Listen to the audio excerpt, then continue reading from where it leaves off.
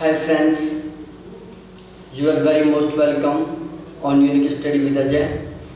दोस्तों मैं इस चैनल के ऊपर नेट जरा फ़र्स्ट पेपर और जोग्राफी दोनों की बिल्कुल सिस्टमेटिक ढंग से क्लासेज चला रखा हूँ तो आप मेरी ये सभी क्लासेज ज्वाइन कर सकते हो देखो मैं इससे पहले जियोमॉर्फोलॉजी इंडियन जोग्राफी और रीजनल प्लानिंग ये पढ़ा चुका हूँ और प्रेजेंट टाइम में मैं जो ओशनोग्राफी है उसे कंटिन्यू कर रखा हूँ जिसमें आज हम हिंद महासागर के बारे में पढ़ेंगे। इससे पहले मैंने प्रशांत महासागर, अटलांटिक महासागर मग्न तट मग्न ढाल गहन सागरीय मैदान, गर्द। इनके बारे में बिल्कुल सही ढंग से पढ़ा दिया है आपको। तो जो आज का हमारा टॉपिक है, उसके ऊपर हम डायरेक्टली फोकस करते हैं। तो देखो, सबसे पहले हम चैप्टर सात के बारे में देख लेते हैं। चैप्टर सात में हम डिस्कस करेंगे हिंद महासागर के बारे में इंडियन ओशियन देखो, हिंद महासागर का चित्र कुछ इस तरीके से होता है, जो ये वाली बाउंड्री है, इसमें ये वाला भी शामिल है। जो ये वाली बाउंड्री है दो सिंगों वाला एरिया फिर नीचे जाते जाते हैं, फिर ये इंडिया फिर ये इस साइड से, जो ये वाला एरिया इस तरीके से है, ऐसे। इस तरीके से चाइना चला जाता है ऊपर, और यहाँ पर ये कुछ द्वीप है। जैसे ये ये वाले द्वीप हैं ऐसे, और ये द्वीप है। यहाँ पर ये ऑस्ट्रेलिया है, जिसका मैंने नक्शा बदल दिया है यहाँ पर, इस तरीके से ऑस्ट्रेलिया। और यहाँ पर ये अफ्रीका है। क्या है? अफ्रीका है। और यहाँ पर ये अंटार्कटिका है, जो बहुत ही ज़्यादा विस्तृत है, लेकिन मैंने इसको छोटा सा बना दिया था। इस तरीके से है। और इसके बीच का जो एरिया है, ये वाला इस तरीके से इसका जो बीच का ये वाला एरिया है, ये क्या है? अब ये जो गोल बाउंड्री है, वो है हिंद महासागर। क्या है? ये सारा का सारा हिंद महासागर है, जिसकी जो उत्तरी सीमा है, वो एशिया से है। पश्चिमी सीमा अफ्रीका से है, पूर्वी सीमा ऑस्ट्रेलिया व एशिया से है, और दक्षिण सीमा अंटार्कटिका अंटार्कटिका से है। ठीक है? समझ में आ गया होगा? पहचान गए होंगे इस हिंद महासागर को। अब हम आगे चलते हैं भाई लोगों। हिंद महासागर एक ऐसा महासागर है जिसका नामकरण किसी देश के नाम यानी हिंदुस्तान, भारत के नाम पर है। कि क्वेश्चन आ जाता है कि ऐसा कौन सा महासागर है जिसका नामकरण किसी देश के नाम के आधार पर रखा गया है? तो वो है हिंद महासागर, जिसका नामकरण हिंदुस्तान के आधार पर रखा गया है। हिंदुस्तान के नाम के आधार पर हिंद महासागर का नाम रखा गया है। प्राचीन ग्रंथों ग्रंथों में हिंद महासागर को रत्नाकर कहते हैं, जो प्राचीन हम किन की बात करें? ग्रंथों की। तो प्राचीनतम ग्रंथों में जो हिंद महासागर था, उसको रत्नाकर कहते थे। क्या कहते थे? रत्नाकर।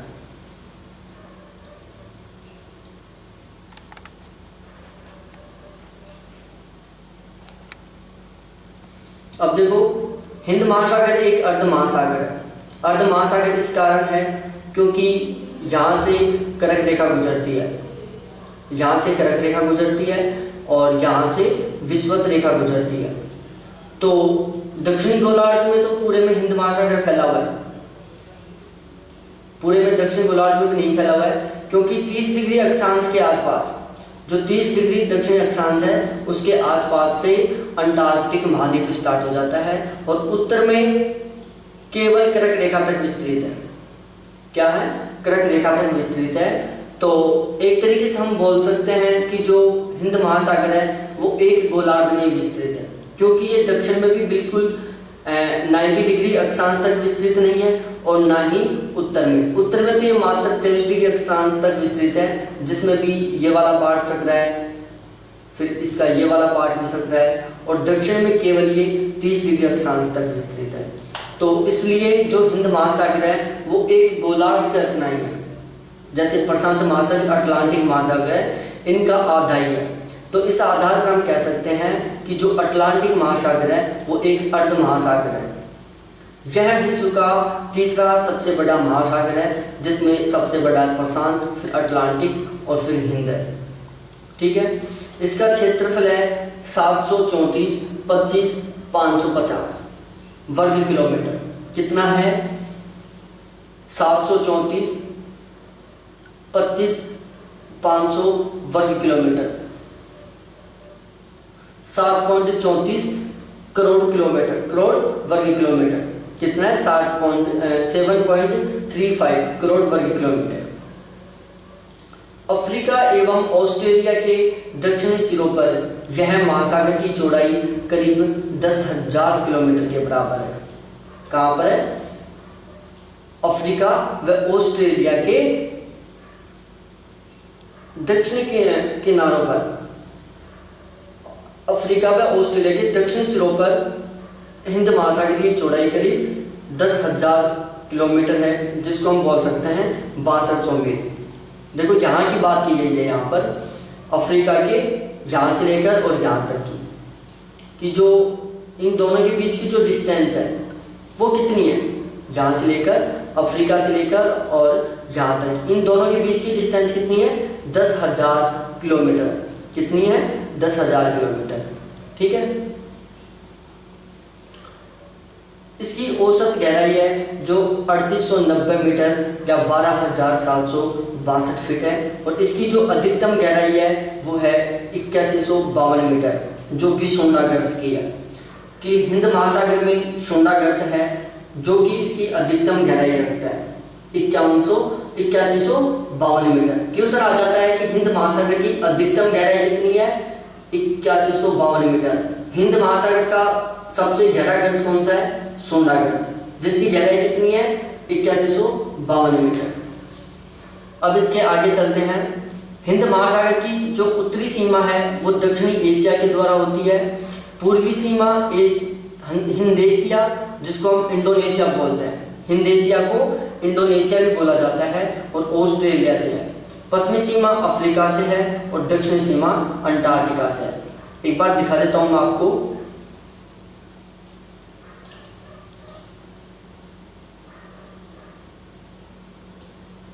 देखो, ये है।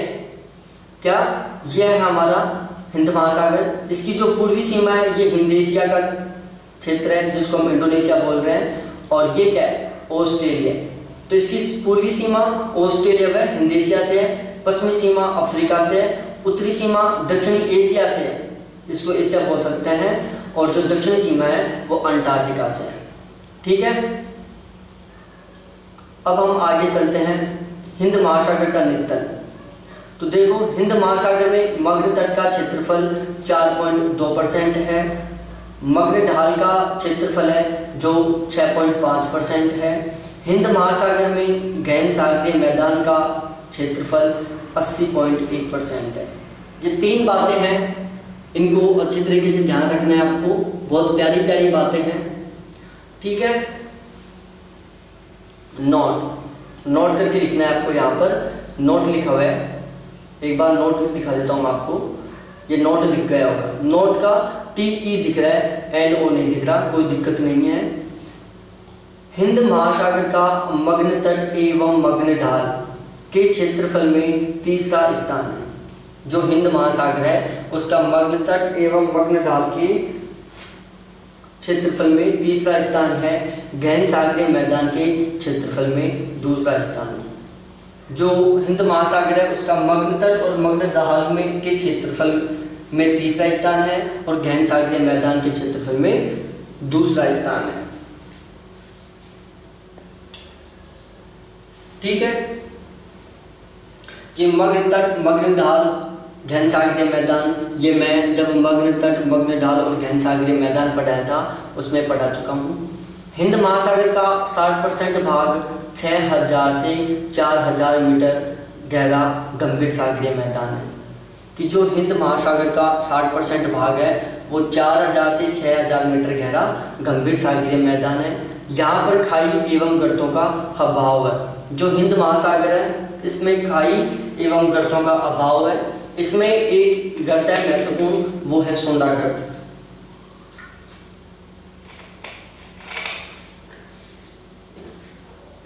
ठीक है? अब हम आगे बात करते हैं महाद्वीप या मग्न तटों की। अरब सागर एवं बंगाल की खाड़ी में सबसे चौड़ा मग्न तट पाया जाता है। किसमें?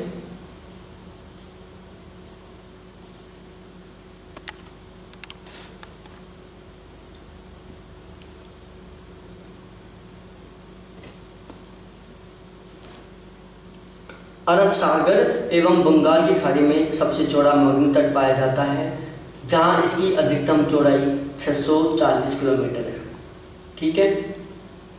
इस महासागर के पश्चिमी भाग में मग्न तट की चौड़ाई, जबकि पूर्वी भाग में मग्न तट शक्त है। कि जो हिंद महासागर है, इसके जो पश्चिमी भाग के मग्न तट की चौड़ाई है, वो अधिक है।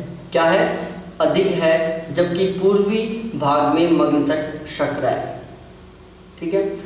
अरब सागर एवं बंगाल की खाड़ी में इसकी चौड़ाई सबसे अधिक है, जबकि अंटार्कटिका एवं ऑस्ट्रेलिया एवं इंडोनेशिया के समीप मालदीप में मग्न तट सक्र हैं। देखो, ये दोनों बातें बिल्कुल एक ही हैं कि जो हिंद महासागर का पश्चिमी भाग है, वहाँ पर मग्न तट की चौड़ाई अधिक है और पश्चिमी भाग में अरब सागर और बंगाल की खाड़ी है। जबकि जो पूर्वी भाग है, जहाँ पर अंटार्क जहाँ पर ऑस्ट्रेलिया, इंडोनेशिया है तो वहाँ पर मग्न तट की चौड़ाई बहुत कम है मग्न तट सकरा है और अंटार्कटिका के आसपास का जो मग्न तट है, उसकी भी चौड़ाई कम है। ठीक है? अब ये हमने डायग्राम बनाया है। प्यारा सा डायग्राम है। मेरे को तो बहुत शानदार लगा ये। आपको कैसा लगा होगा? मेरे को पता नहीं। कमेंट करके ज़रूर बताना। कि ये मैंने डायग्राम कैसा, कितना शानदार बनाया है, ठीक है? ये है। क्या है? ये है। थोड़ा सा और छोटा कर दूँ आपका हो तो ओ ये लो। ये है हमारे जो हिंद महासागर के कटक हैं, उनका ये डायग्राम है कटकों का, जिसमें हम कटकों को पढ़ेंगे बिल्कुल डिटेल से। तो इसके लिए मैं पहले पेन चेंज कर लेता हूँ। और पेन ले लेते हैं हम रेड कलर वाला। ठीक है? और अब हम पॉइंट टू पॉइंट पढ़ते हैं। देखो, सबसे पहले हम स्टार्टिंग से लेते हैं। यहाँ पर तो क्या है? चलो पढ़ते जाते हैं, फिर लेते जाएँगे साथ के साथ। यहाँ पर तो क्या है? ये भारत के दक्षिण में जो ये लाल वाली बाउंड्री है, इसके और इस ब्लू वाली बाउंड्री के बीच में मग्न तट विस्तृत है। जो ये ब्लू वाली बाउंड्री है, उसके और इस लाल वाली बाउंड्री के बीच में क्या है? मग्न तट है। ठीक है? और बीच में ये जो रेड वाली बाउंड्री है, इसके जो बीच का क्षेत्र है, वो मग्न तट है। तो यहाँ पर देखो 90 डिग्री पूर्वी कटक है। देखो एक एक चीज़ दिखा देता हूँ मैं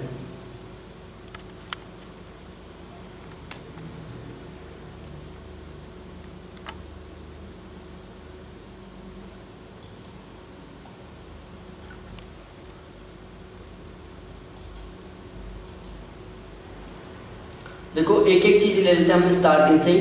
देखो यहाँ पर, ये क्या है? बंगाल की खाड़ी। और बंगाल की खाड़ी में यहाँ पर ये क्या है? अंडमान निकोबार कटक ठीक है?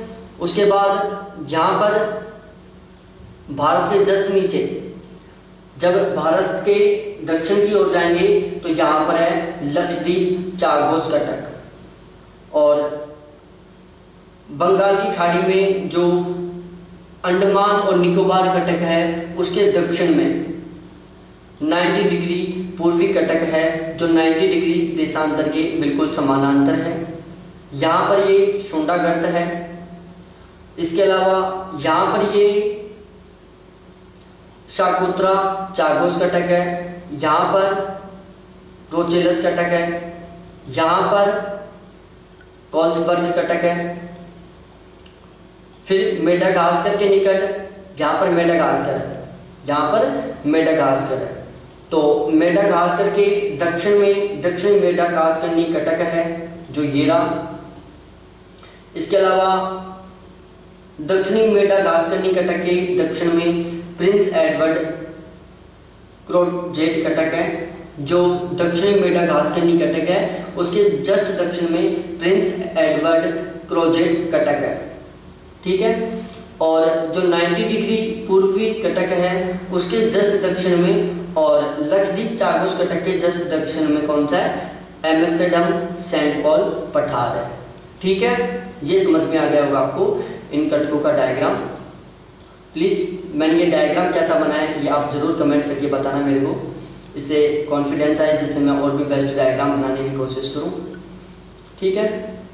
अब हम बात करते हैं एक एक पॉइंट टू पॉइंट सबसे पहले हम बात करते हैं हिंद महासागर में अटलांटिक महासागर के समान मध्यवर्ती कटक है। कि हिंद महासागर में अटलांटिक महासागर के समान मध्यवर्ती कटक है। अब आगे आ जाते हैं। हिंद महासागर का मध्यवर्ती कटक भारत के दक्षिण से प्रारंभ होकर दक्षिण में अंटार्कटिका तक फैला हुआ है। कि जो यहाँ पर क्या है? अंटार्कटिका है। इसके दक्षिण में क्या है? अंटार्कटिका है। इस एरिया में अंटार्कटिका है। तो जो हिंद महासागर का मग्न कटक है, वो भारत के दक्षिण, यहाँ से लेकर और बिल्कुल नीचे तक अंटार्कटिका तक विस्तृत है। कहाँ तक विस्तृत है? इस तरीके से अंटार्कटिका तक विस्तृत है। तो जो हिंद महासागर का कटक है, वो भारत के दक्षिण से लेकर और अंटार्कटिका तक विस्तृत है। ठीक है? आगे हम बात करते हैं।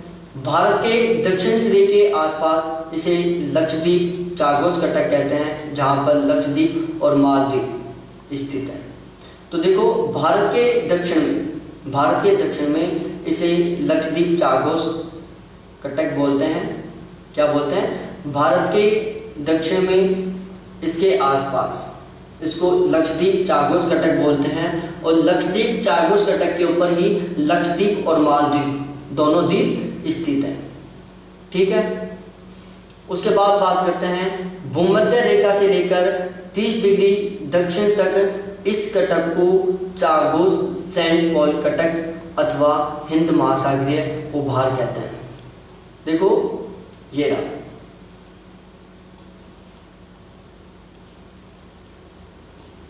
देखो क्या था कि यहाँ से विश्वत रेखा जाती है समथिंग यहाँ से जाती है विश्वत रेखा। और विश्वत रेखा से लेकर 10 डिग्री दक्षिणी अक्षांश, जो यहाँ तक है। यहाँ पर क्या है? 30 डिग्री दक्षिणी अक्षांश है यहाँ पर। यहाँ पर क्या है? 30 डिग्री दक्षिणी अक्षांश है। तो विश्वत रेखा से लेकर 30 डिग्री दक्षिणी अक्षांश तक एमस्टरडम सेंट पॉल पठार है। कौन सा है? एम्स्टरडम सेंट पॉल पठार विस्तृत है। कहाँ से लेकर? विश्वत रेखा से लेकर 30 डिग्री दक्षिणी अक्षांश तक। तो देखो भाई लोगों, ये विस्तृत है इस तरीके से। ये आपको दिख रहा है। बिल्कुल दिख रहा है आपको? ये वाला।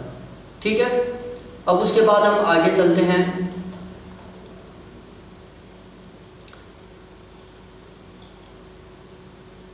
तीस डिग्री दक्षिण अक्षांश से दक्षिण में यह विशाल अंत समुद्री पठार।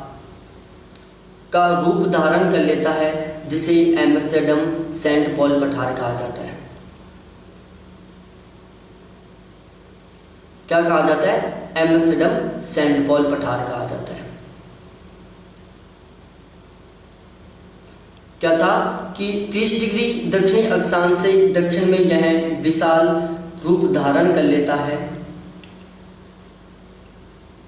30 डिग्री दक्षिण अक्षांश से दक्षिण में यह विशाल अंत समुद्री पठार का रूप धारण कर लेता है, जिसे एमस्टरडम सेंट पॉल पठार कहते हैं। पूर्वी 90 डिग्री पूर्वी कटक। 90 डिग्री पूर्वी कटक, यह 90 डिग्री पूर्वी अक्षांश के साथ साथ उत्तर से दक्षिण दिशा में विस्तृत है, जो अंडमान निकोबार। यहाँ पर 90 डिग्री पूर्वी देशांतर है। ये अक्षांश मैंने गलत लिख दिया है। यहाँ पर देशांतर आएगा। कि जो 90 डिग्री पूर्वी कटक, यह 90 डिग्री पूर्वी देशांतर। यहाँ पर आपको देशांतर करना है। क्या करना है? इस अक्षांश की जगह देशांतर करना है। देशांतर के साथ साथ उत्तर से दक्षिण दिशा में विस्तृत है, जो अंडमान, निकोबार, कटक एवं एमएसडम सेंट पॉल पठार के बीच में विस्तृत है। ठीक है? देखो, ये जो 90 डिग्री पूर्वी कटक है, जो 90 डिग्री पूर्वी देशांतर के समानांतर स्थित है, जो कि लक्षद्वीप चागोस कटक से लेकर अंडमान निकोबार कटक से लेकर। यहाँ पर कौन सा है? अंडमान निकोबार कटक है। तो जो 90 डिग्री पूर्वी कटक है, वो 90 डिग्री पूर्वी देशांतर के समानांतर अंडमान निकोबार कटक, जो यहाँ पर है इससे लेकर दक्षिण में एमस्टरडम, सेंट पॉल पठार के बीच में विस्तृत है। ठीक है? उसके बाद आता है मेडागास्कर के निकट, मेडागास्कर कटक है। यहाँ पर है मेडागास्कर, यहाँ पर मेडागास्कर है और मेडागास्कर के निकट मेडागास्कर कटक है, जिसको दक्षिणी मेडागास्करनी कटक भी बोलते हैं। उसके बाद है 40 से 45 डिग्री दक्षिण अक्षांश के बीच प्रिंस एडवर्ड क्रोजेट कटक है। 40 से 50 डिग्री दक्षिण अक्षांश। ये 40 है और ये 50 है। इन दोनों अक्षांशों के बीच प्रिंस एडवर्ड क्रोजेट कटक है। कौन सा है? ये जो कटक है, इसका नाम है प्रिंस एडवर्ड क्रोजेट कटक जो कि 40 से 50 डिग्री दक्षिणी अक्षांश के बीच स्थित है। क्वेश्चन आ जाता है? कि निम्नलिखित में से कौन सा ऐसा कटक है जो किसी देशांतर का समानांतर विस्तृत रहता है? तो ध्यान रखना, हिंद महासागर का 90 डिग्री पूर्वी देशांतर कटक है सॉरी हिंद महासागर का 90 डिग्री पूर्वी कटक है, जो 90 डिग्री पूर्वी देशांतर के समानांतर विस्तृत है। ठीक है? अब भाई आ जाते हैं आगे। द्रोणी अथवा बेसिन। तो यहाँ हम बात करने वाले हैं हिंद महासागरों के कुछ द्रोणी और बेसिनों की कि यहाँ पर कौन कौन सी द्रोणियाँ और बेसिन विस्तृत हैं। तो भाई लोगों, अच्छे तरीके से तैयार हो जाओ, जुड़े कस लो। मैं आपको बताता हूँ। देखो, ओमान बेसिन है, अरेबियन बेसिन है, सोमाली बेसिन है, मॉरिशस बेसिन है, नेटाल बेसिन है, अंडमान बेसिन है, अगुलहास बेसिन है, अटलांटिक हिंद अंटार्कटिक द्रोणी है, कोकोस किलिंग द्रोणी है, पूर्वी हिंद अंटार्कटिक द्रोणी। तो ये कुछ द्रोणी या बेसिन है जिनको आपको ध्यान रखना है, ये सारे सारे हिंद महासागर में। क्वेश्चन पूछता रहता है कि निम्नलिखित में से कौन से द्रोणी या कौन सी बेसिन हिंद महासागर से संबंधित नहीं है? और वो तीन इन द्रोणियों में से दे देता है और चौथी द्रोणी अलग दे देता है। क्वेश्चन किसी भी तरीके से पूछे, हमें इतनी शानदार वाली प्रिपरेशन करनी है कि हम उसका आंसर बिल्कुल सही दें। अब आ जाते हैं भाई, मध्यवर्ती कटक पर स्थित द्वीप। जो मध्यवर्ती कटक है हिंद महासागर का, उसके ऊपर स्थित द्वीप है, लक्षद्वीप है, मालद्वीप है चागोस है, न्यू एमस्टरडम है, सेंट पॉल है और करगोलेन द्वीप है। ये कुछ द्वीप हैं जो मध्यवर्ती कटक पर स्थित हैं। कौन कौन से? Lakshadweep Maldives Chagos, New Amsterdam, Saint Paul और करगुलेन।